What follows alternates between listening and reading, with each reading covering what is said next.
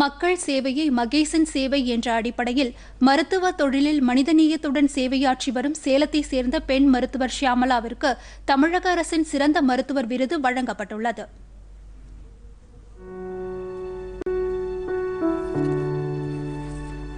சேலத்தை சேர்ந்தவர் மருத்துவர் ஷியாமலா.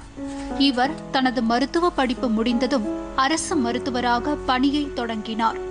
இருபது ஆண்டு காலம் அரசு மருத்துவ பணியில் ஈடுபட்ட அவர் ஏழை எளிய மக்களுக்கு சேவையாற்றும் வகையில் தனது பணியில் இருந்து விருப்ப ஓய்வு பெற்றார்.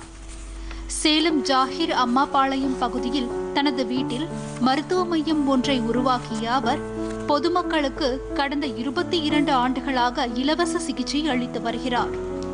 ஆயிரக்கணக்கான பெண்களுக்கு சுகப்பிரசவம் பார்த்து சாதனை படைத்துள்ள இவரை சுகப்பிரசவ டாக்டர் அம்மா என அப்பகுதி மக்கள் அழைக்கின்றனர்.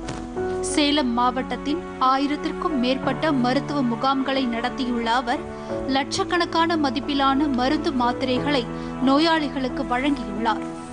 தன்னுடைய இந்த பணியில் கணவர் நாகராஜன் ஒத்துழைப்பும் அர்ப்பணிப்பு உணர்வு கொண்ட மருத்துவ குழுவினரின் ஆதரவும் உள்ளதாக மருத்துவர் ஷியாமலா தெரிவித்தார்.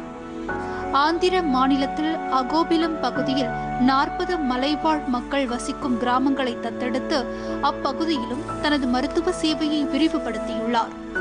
சாதாரண மக்களின் மருத்துவ சேவையில் தன்னை முழுமையாக அர்ப்பணித்துக் கொண்டுள்ள மருத்துவர் ஷியாமலாவின் பணியை ஊக்குவிக்கும் வகையில் தமிழக அரசு அவருக்கு முதலமைச்சரின் சிறந்த மருத்துவர் விருது வழங்கியுள்ளது. பொதிகை செய்திகளுக்காக சேலம் செய்தியாளர் ஜி. விஜயகுமார்.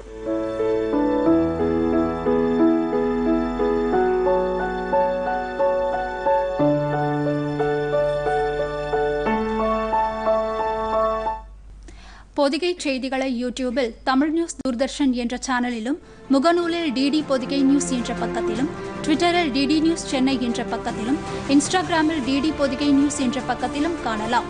மேலும் உங்கள் கருத்துக்களை Podhigai DD news at Gmail dot com என்ற மின்னஞ்சலில் தெரிவிக்கலாம்.